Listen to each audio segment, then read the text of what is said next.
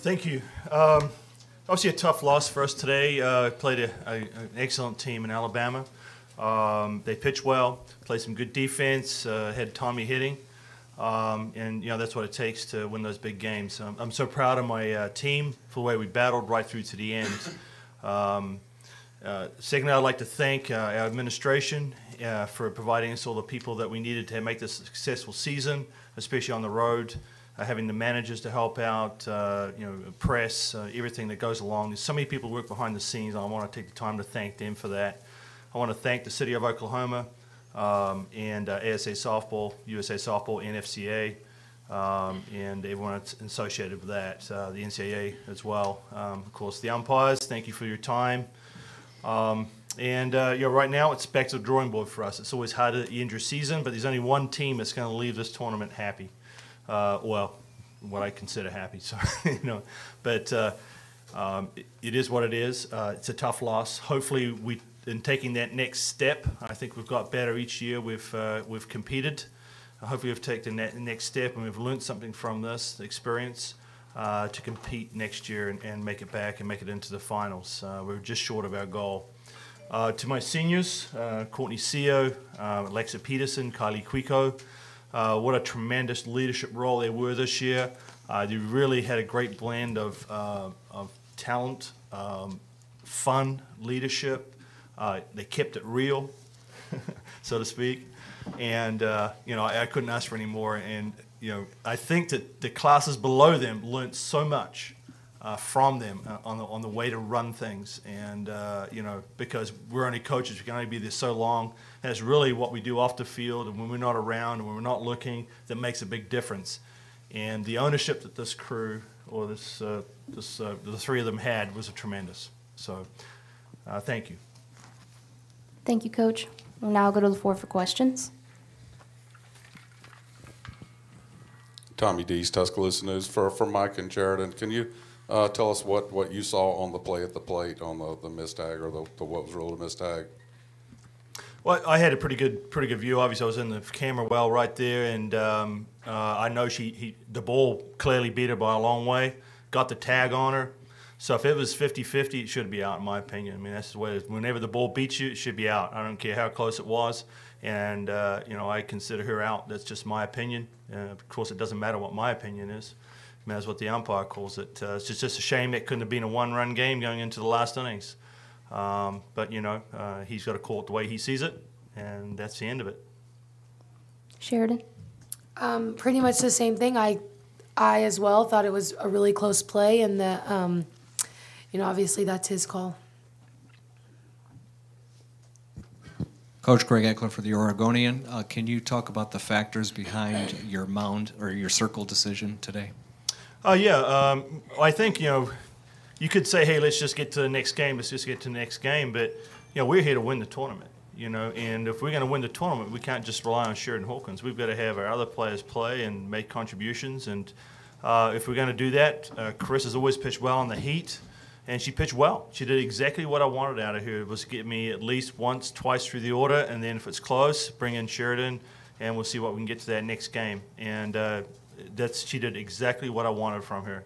A tremendous job by her, and, and for Cheridan to coming in and and uh, after that leadoff hit, and getting out of that inning. Um, so you know, I, I can't be any more proud of what my team did. We just didn't put the numbers up on the board, and a lot of that has to do with Jackie Traina what a tremendous career so far, and of course it's still going. You know, one of them's going to win a World, Ser- World Series. I'm not sure which one. Uh, they're both equally talented, uh, and it comes down to inches. I mean, if you look at this game, I mean, how many line drives did we hit in that game? Home run, maybe a three feet foul. Uh, you know, that's this game. That's where it goes. You know, uh, that uh, pitch to Haylie McCleney's three inches further inside. That's a that's a jam job to right field. You know, but uh, again, you know, that's part of the game. That's why we play it, and that's what makes it a tremendous game is the unknowns and the and the the, the factors there when you play and the big big limelight.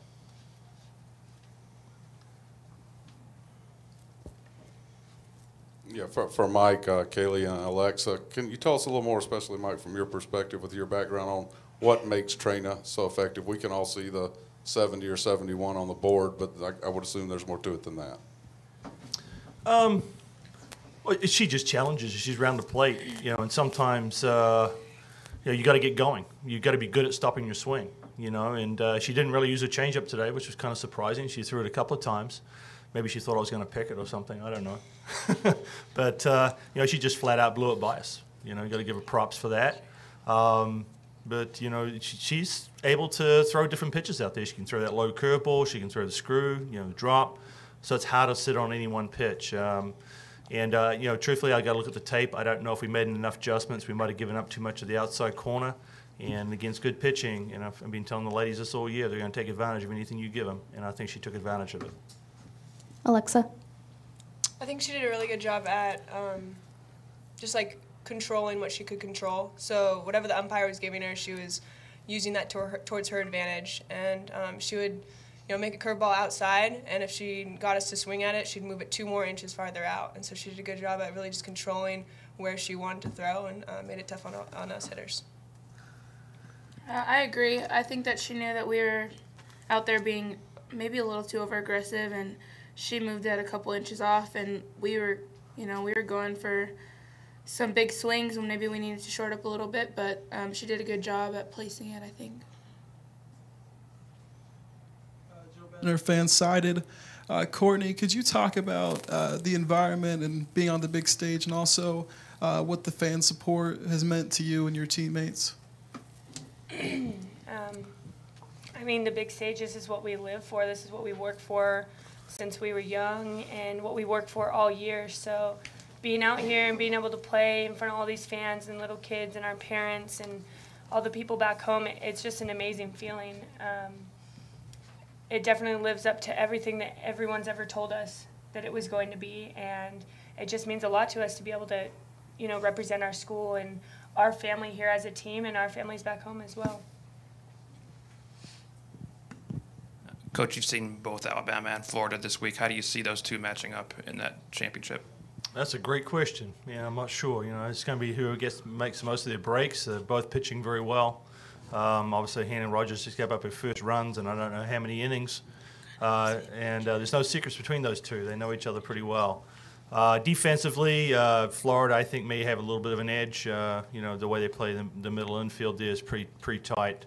Uh, not to say that anybody's bad, but I'm just asking you who's got the edge there. And uh, offensively, uh, you know, possibly Florida may have a little bit of an edge there, but uh, they're very equal. This is, it's going to be a great series, and I wish I could stick around and watch it, but I've got to get on a charter tomorrow or a flight tomorrow morning at six o'clock. So, but it's it, you know, it's it's going to be a good series. Yeah.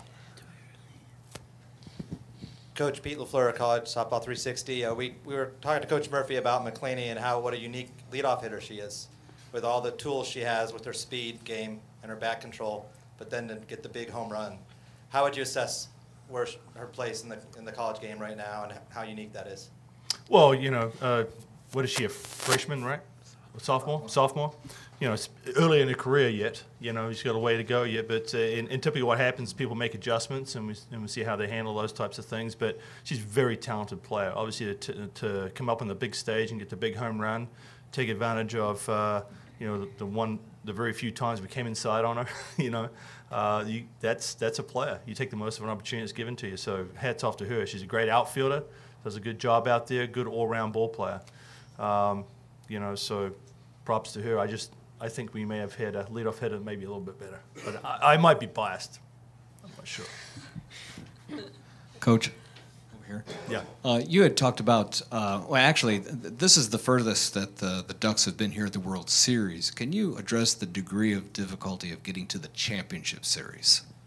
Well, yeah. I mean, I think you got to win one of those first two games. I think that's the, the big hurdle we got to get to, and uh, um, you know, we, we, keep making steps. We're going forward. Uh, that's that's the good news. Obviously, we took a little step back last year, but uh, uh, it, it, I tell you what, it's hard just to get here. You know, let alone to the championship series, and things got to go your way. You got to get some breaks. You got to get, um, you know, even some little things. Uh, you know, that uh, make it. Make, there's other little things you get to this championship series. You got to have everything you go. It includes getting good umpire calls. It means uh, getting the luck. You know, there's, there's so much to it. but we also got to have a talented team. And this year I had an excellent uh, team. Uh, the big factor for us was coming in was could we pick up from Jess Moore leaving and Sam Pappas and Ali Berger and Kaylin Howard, and I think we answered that. you know, as much as I said yesterday about Oklahoma having the, you know some question marks, I think there was a lot of question marks surrounding this team. We started off the season ranked 15th or 16th, I believe. Um, I could be wrong on that one, but and, and picked to finish third in the Pac-12.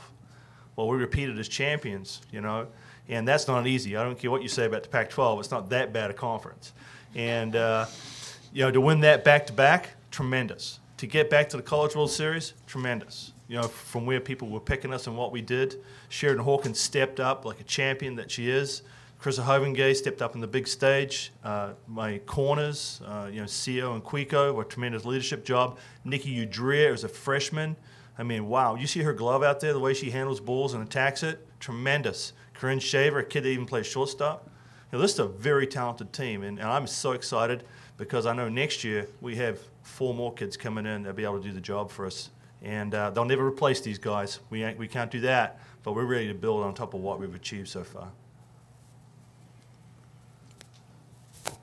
Courtney, I know your sisters played uh, college softball, so you probably have perspective about different programs within Pac-12, Big 12, what, what have you. How would you assess what Oregon softball stands for now? What the, not so much the mission statement, but, but what, what, what you guys want to be known as, what you, you as seniors, what you want your legacy to be in helping the program move forward? I think in general, just from our freshman year, we wanted to be looked at as one of the top teams in the nation. And throughout the years, the four years that we've been here, um, we've absolutely accomplished that, getting better each year and setting a standard for our upperclassmen as well as our lowerclassmen, just that we do things right, we do things with class, um, we help each other out. We're a family here. Um, we use that word a lot, and it, it's not we're just not throwing it around. We really are a family. We care about each other on and off the field, and we care about our staff, not just our coaches, but everyone else involved. Who's involved? Our managers, our, you know, um, equipment people, our administration, everyone. Um, we care about them as a family, and just the standard that we set that you take care of people and you use manners and you just you be morally correct people and it's more about our personalities and then we also have very talented people on the field so just all around good people, and that's what our that's what our team brings.